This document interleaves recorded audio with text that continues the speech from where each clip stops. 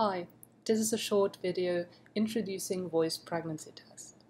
Voice pregnancy test is based on the fact that females report their voice to change during pregnancy. It becomes more hoarse and also deeper. So we want to pick up these changes and based on them diagnose pregnancy.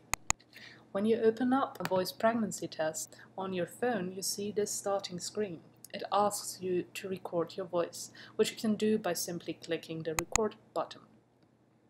And once you click that, your voice is recorded. My voice is recorded right now. And once you're happy with the recording, you can just hit the stop button, which I do now.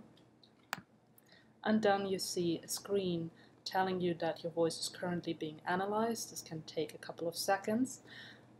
And then it switches to the result which in my case is that the app says that I'm likely not pregnant, which is actually true because I am on my period.